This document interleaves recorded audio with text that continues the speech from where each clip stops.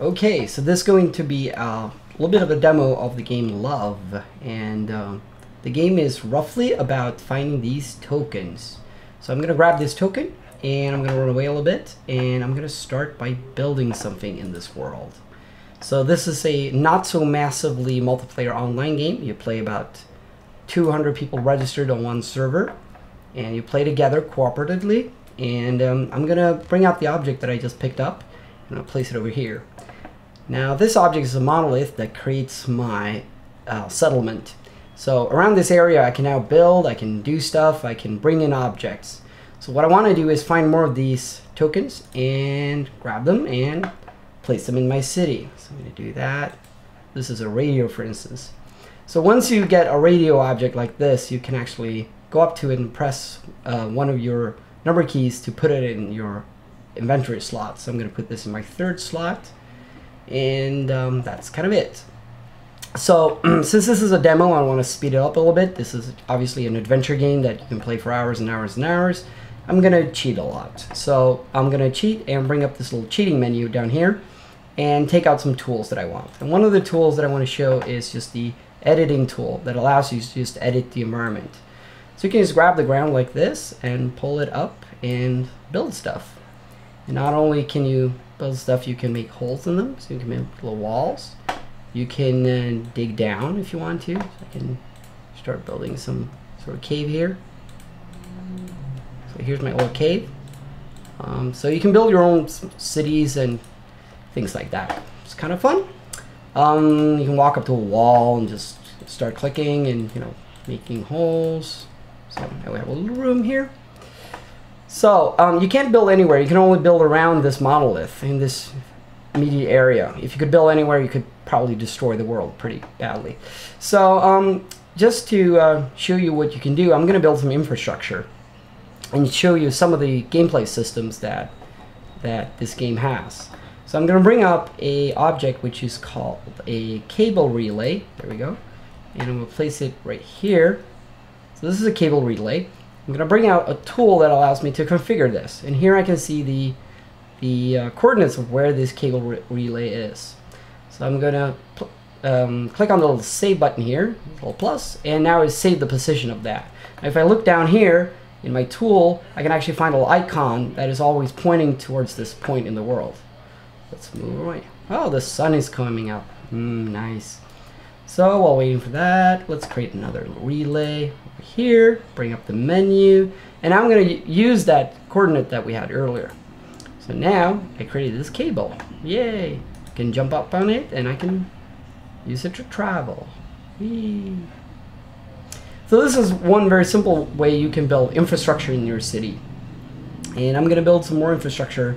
Um, let's build a force field. Now the force field is something you'll get pretty late in the game, so it's not something everyone will have, but I'm cheating so we can throw one up. Now, interestingly, it's the sunset right now, and I'm going to throw up a power source.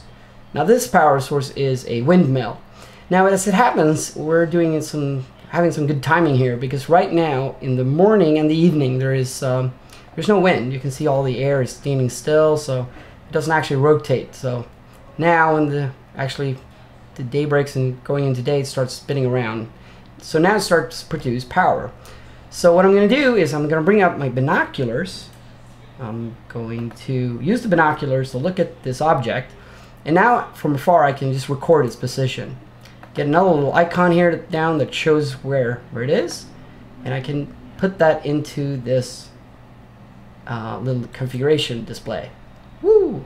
Oops, I just died. I'm getting attacked. We'll have to do something about that later on. So now we can see this thing is powering my force field. So now everything within it is protected. The force field isn't very big because this is not a very good um, power generator, but if I put more power on, it'll grow bigger.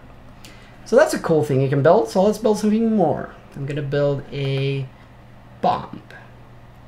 So here is a bomb, and I'm gonna place it on the ground. Here we go. Say over here. So let's configure that.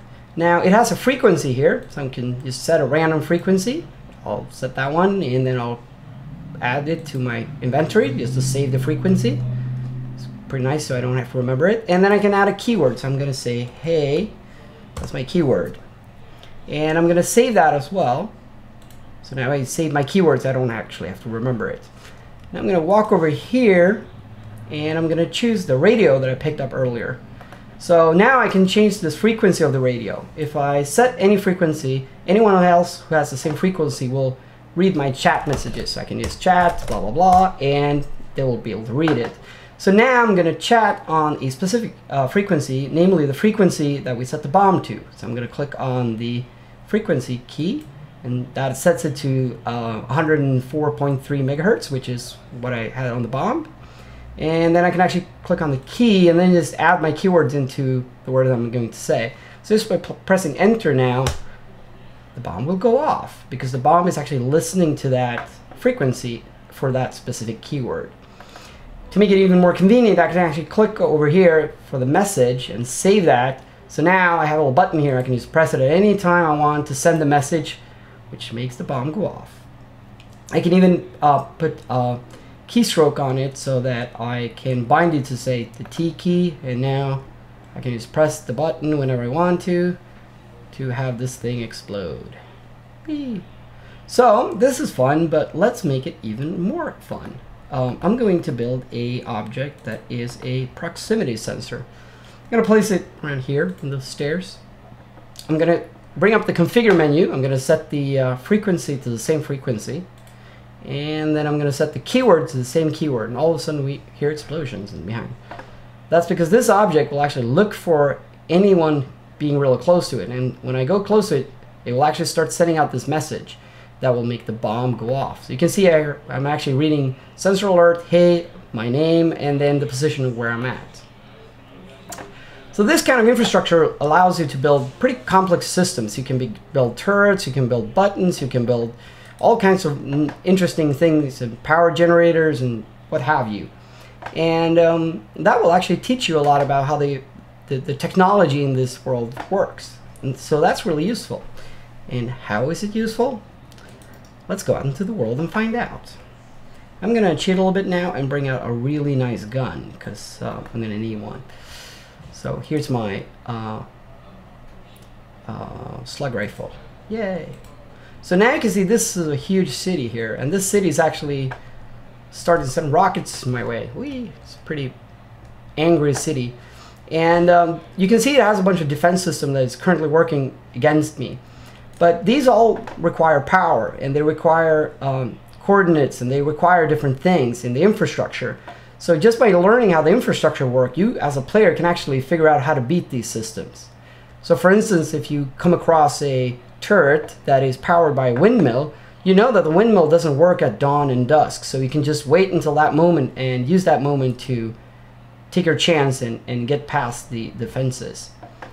So I'm gonna run around here. Now we're actually at the top of the world, so there's a lot of ice here. But uh, let's see what we can find. Um, I'm gonna show you a little bit of an area around here. Some bad guys. Good that I have the ultimate firepower. Um, and here you can see actually the AI is manufacturing power-ups. Now, this might make your AI characters um, that you're fighting really, really powerful. So you might want to take out the the manufacturing. So you follow the uh, lines and you figure out how the infrastructure work and it gives you a way of, of uh, beating the enemy. And there's lots of building blocks that you can use. Like this, for instance, this is a, uh, um, a relay that has a breaker on it. If you shoot at the breaker, you can cut the relays uh, the way that it um, relays power. And sometimes, I'm going to fly a little bit here, you can get combinations of the two. So right now, we're actually hitting, there's a windmill over here, and that windmill is actually normally powering over here, let's see, a force field. And this force field normally protects this breaker. So right now I can shoot out the breaker. And it was just in time before the force field came back because the windmill started working again. So this is a typical problem where you would have uh, you would have to wait to a certain moment in order to uh, attack uh, something that is hidden by this force field. So these worlds are completely generated. They're built um, by the computer, and they actually respond to what the players do. So if the players, for instance, would start attacking the world, you know, from one direction, um, the city might decide to start put up defenses in that direction and, and actually do something about it. So they will respond to to to the players' actions. Um, the game has a bunch of different areas. So now we're going into this sort of desert, mountain, rocky area, and um, as you play, they will all change slowly, slowly. So if you play every day, you'll see a little bit of new content every day. You'll recognize most of it, but there will always be new stuff to do. So that's my introduction to Love, and I hope you enjoyed it.